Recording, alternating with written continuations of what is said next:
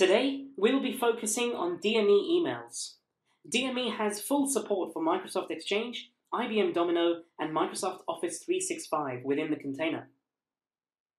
Click on the email icon. You will be presented with a visual representation of your inbox. The number of emails you see depends entirely on your choice and is configurable from the DME options. With visual aesthetics in mind, you can see your unread emails, high important, emails with attachments, and emails you've replied to. And if you can't find an email you're looking for, the handy search bar at the top will allow you to autocomplete and auto-filter any emails from the searches you type in. Here we're typing in Yan. If I don't find the email I'm looking for in the list there, I can click the button to search on the server, which will initiate a search back on the mailbox on the server.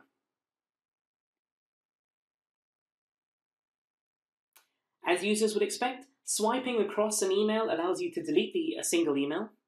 Alternatively, clicking on the edit button at the top will allow you to select multiple emails at a time, and with the contextually specific toolbar at the bottom, you can delete, move emails to a folder, mark them as read or flagged.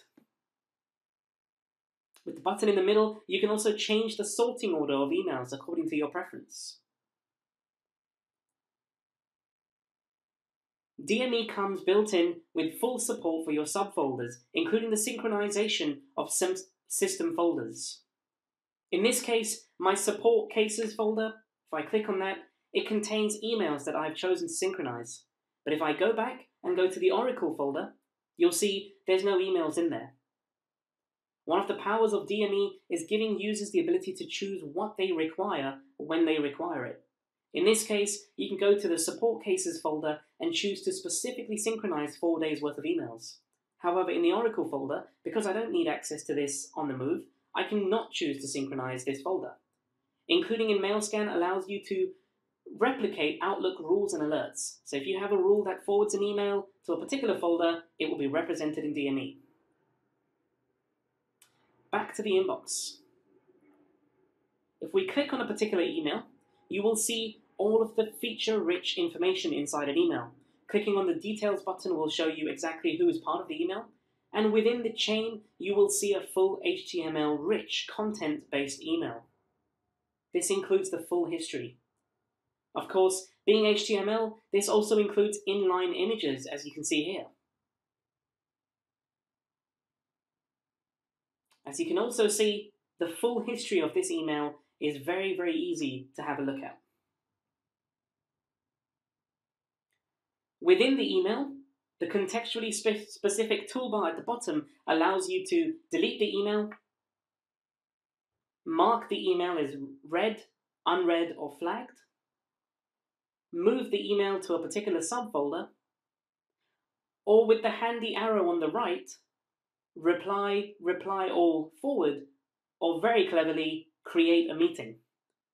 This will auto-populate all of the fields of the meeting, including the subject and the recipients. The moment you click save, a calendar invite will get sent over to these users with the information populated. If we take a look at viewing attachments, we go back to an email with the paperclip icon that's familiar to users. We click on the icon there, and we're able to download the attachment. DME does not download the attachment until a user clicks to specifically download it. Please refer to the attachment video for more information. When it comes to composing an email, DME is very clever in that it uses a cache-based system based on people you have recently emailed or people who have recently emailed you. In this case, you can type out the email for it to be pre-populated. The power of DME comes from the ability to also search your global address book and this is applicable for the two CC and BCC fields. You can type in a subject, as you would expect, and creating an email is very simple. This includes feature-rich HTML capabilities, as you can see in this video.